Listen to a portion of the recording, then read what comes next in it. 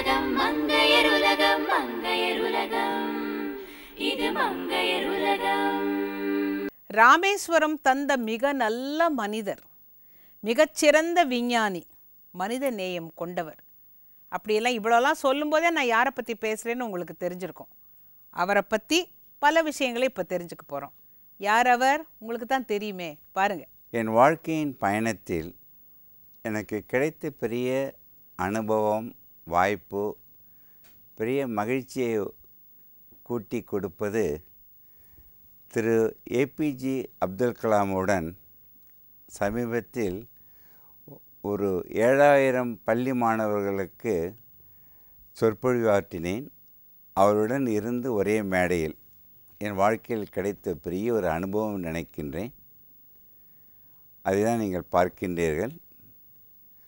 அவர் ஒரு பெரிய மகானாக திகழ்ந்தவர். அவருடைய வாழ்க்கையின் குறிக்கோளை அவருடன் பேசும்பொழுது நான் தெரிந்து கொண்டேன்.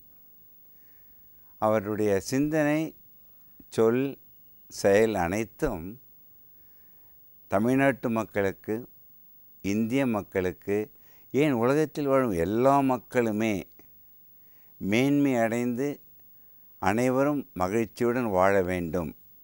அப்படி தான் அவருடைய குறிக்கோள். அதற்காக நான் ஸ்டைலில் பாருங்களேன். ஒன்னஸ் என்று போட்டேன். உலக மக்கள் அனைவரும் ஒருவராக ஒன்றாக இணைந்து வாழ்வது தான் அவர் குறிக்கோளாக இருந்தது. அதைவிட அவருடன் நான் உரையாடி கொண்டு இருக்கும் பொழுதும் அவர்கள் மாணவர்களிடம் உரையாடுவதைக் கண்டு நான் மிக மகிழ்ந்தேன். அது பெரிய வாய்ப்பு வாழ்க்கையில்.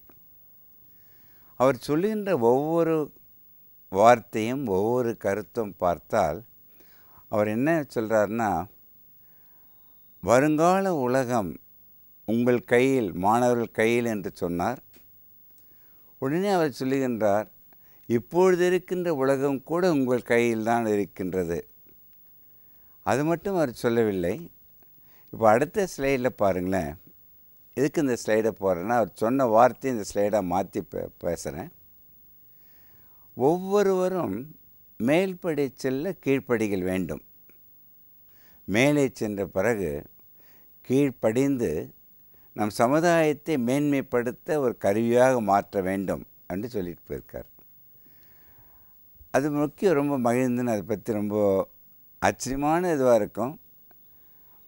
அந்த நிகழ்வின் பொழுது அவர் அடிக்கடி சொன்ன ஒரே ஒரு கருத்து ஒவ்வொருவரும் தானாக வாழ்ந்து மற்றவர்களிடம் இருந்து கம்பேர் பண்ணாதபடி மற்றவர்களை பற்றி அடிக்கடி கிரிட்டிசைஸ் பண்ணாதபடி மற்றவர்களை பார்த்து வாழ்க்கையை மாற மாற்றிக்கொள்ள அமைத்து கொள்ள வேண்டும் நினைக்காமல் உங்களுக்காக வாழுங்கள் நீங்கள் நீங்களாக வாழுங்கள்.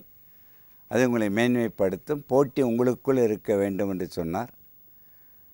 அப்புறம் இன்னும் நான் ரொம்ப சொல்லிக்கிட்டு இருந்தார் அவரோட பேசிக்கொண்டிருக்கின்றேன். இவ்வளவு அயராது உழைத்து கொண்டிருக்கின்றீர்களா ஐயா எப்படிங்க ஐயான்னு சொன்னேன். நான் மாணவர்களை பார்த்து பேசும் பொழுது எனக்கு வயது கூடின மாதிரியே தெரியவில்லை அப்படின்னு சொன்னார். அது மட்டும் இல்லை அவர் பேசும்பொழுது ஒரு கருத்துன்னு சொன்னார். உனக்கு எவ்வளோ வயது சொக்கலிங்கன்னு கேட்டார். எனக்கு இப்போ எழு எழுபது வயதாகி விட்டதுன்னு. நீ பார்த்தா இன்னும் நாற்பது வயது மாதிரி தானே இருக்கீங்க சொக்கலிங்க அப்படின்றாரு. அந்த வார்த்தைகள் எனக்கு உற்சாகத்தை கொடுத்தது. இன்னொன்றை பார்க்கின்றேன் அவரை பொறுத்தவரை. ஏன் இவ்வளவு தூரம் இந்த அவருக்கு அந்த வயதில் உழைக்கின்றேன்னு சொன்னால் ஒரு கருத்து எனக்கு ரொம்ப பிடித்தது. ஒவ்வொரு மனிதனும் எரிகின்ற மெழுகுவர்த்தியாக மாற வேண்டும். இந்த மெழுகுவர்த்தி எரியும் பொழுது உயிருள்ளவரை உழைத்து கொண்டிருக்கும். உழைத்து கொண்டிருக்கும் பொழுது உன் உயிர் பிரியட்டும்.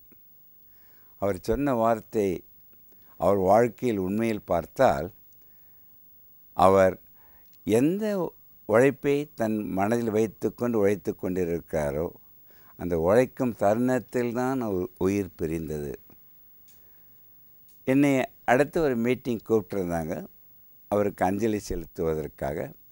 உலகத்தில் இதுவரை யாருக்குமே அவர் இறந்த செய்தியை கேட்டு இந்தியாவில் மட்டுமல்ல உலகத்தில் இருக்கின்ற அனைத்து மக்களுமே கண்ணீர் அஞ்சலி செலுத்தி பண்ணி அதில் நானும் இருந்தேன்.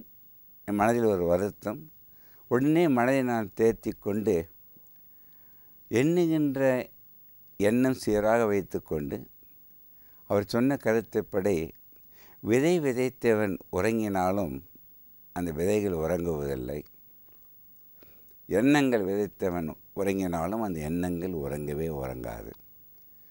அவருக்கு நாம் செய்ய செய்கின்ற அஞ்சலி அவருக்கு செய்கின்ற ஒரு தொண்டு அவர் விட்டு சென்ற அனைத்து எண்ணங்களையும் நாம் செயல் வழியில் கொண்டிருந்து நம் சமுதாயம் வாழ்கின்ற வரை அவர் எண்ணங்களை எடுத்து சென்றாலே அவருக்கு நாம் செய்கின்ற பெரிய ஒரு அஞ்சலியாக நான் கருதி அதுதான் அவருக்கு செய்கின்ற தொண்டாக கருதி அவர் சொல்லுகின்ற ஒவ்வொரு வார்த்தையும் ஒவ்வொரு மனிதனும் தான் நலனுடன் இருந்து வாழ்கின்ற நாட்டை வளமான நாடமாக்கி டுவெண்ட்டி டுவெண்ட்டி இருபது இருபதில் இந்தியாவில் வல்லரசாக மாறி இந்தியா ஒரு எடுத்துக்காட்டாக மாற வேண்டும் என்று கூறும்பொழுது நான் சொன்னேன் ஐயாவிடம் இன்னும் இருபது இருபது வருடம் கூட காத்திருக்க வேண்டாம் ஐயா. இன்னும் ஒன்று இரண்டு வருடங்களில் நீங்கள் சொன்னுகின்ற கருத்து கட்டாயம் பூர்த்தி அடைய செய்ய முடியும். அவர் வாழ்ந்த காலத்தில் நாம் அனைவரும் வாழ்ந்து கொண்டு இருப்பதே ஒரு பெரிய பாக்கியம் ஒரு அரிய வாய்ப்பு. அவர் நம்மிடம் என்றென்றும் இருந்து கொண்டிருப்பார்.